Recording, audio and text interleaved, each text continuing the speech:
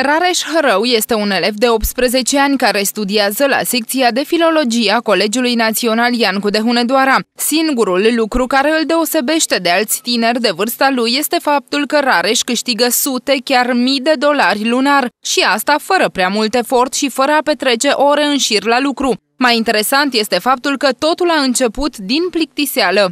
În vacanța de iarnă eram acasă, mă plictiseam, iar din lipsă de ocupație am zis să fac un colaj de muzică. Iar după ce l-am făcut, l-am urcat pe YouTube.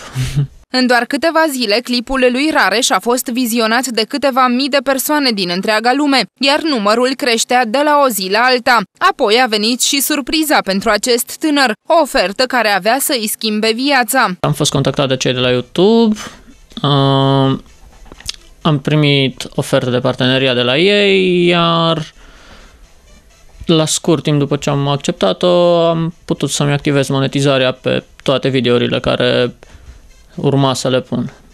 Asta se întâmpla în urmă cu 2 ani, iar de atunci Rareș a încărcat peste 70 de clipuri cu mixuri realizate de el, care îi aduc un venit lunar cuprins între 400 și 5600 de dolari, în funcție de vizualizări și minute vizualizate. În total, clipurile încărcate pe YouTube au strâns până la ora actuală 17 milioane de vizualizări, iar totalul minutelor vizualizate se ridică la 255 de milioane de minute, adică 486 de ani dacă ar fi să le adunăm. Cât de mult trebuie să muncească Rareș pentru a realiza acest venit? Practic, doar când vreau eu, e la alegerea mea, când vreau să intru și așa nu mă simt oarecum presat de asta. Chiar da, e ușor, dar nu, nu durează foarte mult timp. Cel puțin acum, mai de mult, da, am mâncat ceva timp.